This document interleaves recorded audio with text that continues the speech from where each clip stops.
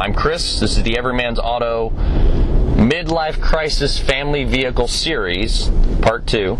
So, today, 2014 Jeep Grand Cherokee SRT. Love it. It's got launch control. It's very easy to use. You can launch it from every stoplight, actually, if you, if you time it right. Um, it's got a 6.4 liter Hemi V8 up front, makes 470 horsepower, 465 foot-pounds of torque. It's got a back seat. Getting the car seats in was a, a little difficult. I, I kind of give it a three out of five on my crooked finger test. Uh, the the seats, uh, the cushions of the seats was was robust to, to kind of force my hand down down through there. It was not the the the easiest to get in and out of. Cargo space was good. The double stroller fit back with ease.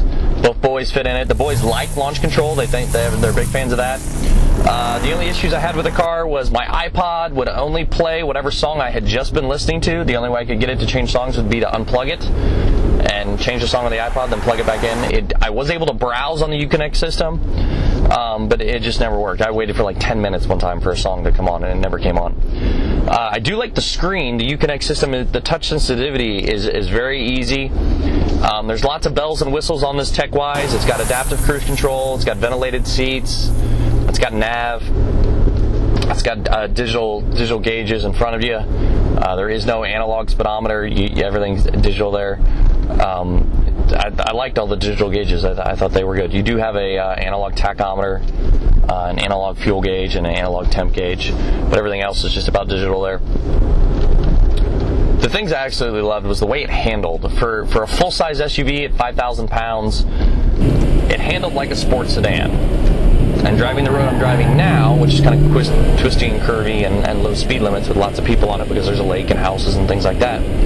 In my vehicle, I have to stay pretty close to the speed limit and stay pretty slow. And that Grand Cherokee SRT, it has the ability go much faster on this road. We didn't because I don't need tickets, but it has the ability to. It's very easy to. I was able to take it out on a slalom course with some local uh, police officers who were, were doing some training, and it was a closed course and so we were able to kind of motor through that very quickly. Uh, they and I myself, we, we both agreed that the Jeep Grand Cherokee had less body roll than their Ford Taurus Interceptor, their new Ford Taurus Interceptor. That was just something that the officers and myself noticed. Sorry, Ford. Um, let's see, what else did we absolutely love about the launch control is great. It sucks fuel down. It's 1319. I averaged a combo of 15.4. That's better than what I get in my daily driver. I only get like 13.1 in my daily or 13.2 in my daily. So 15.4 is better than my daily wasn't happy with it. I needed a little better. It's got an econ button. Um, you can't tell a difference in the driving style. Well, you can. It just means that the 8-speed ZF transmission shifts at 2,000 instead of 3,000 or higher.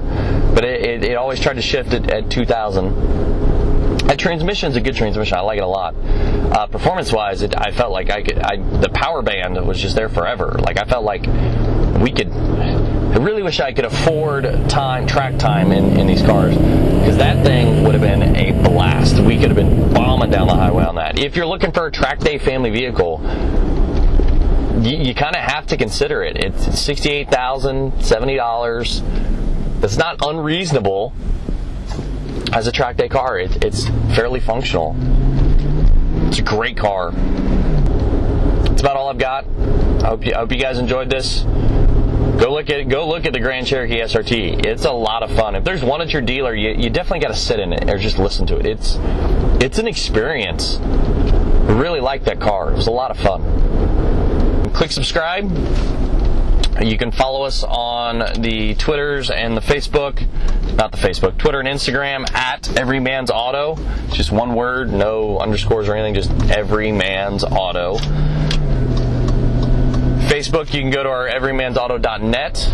In the upper right hand corner, you can click the like button. And uh, that's about all we got. We'll see you next time. This was not the three minute review that I wanted it to be. I think we're at like five something. But the only way to get better is to keep doing it, right? So uh, that's what we're going to do.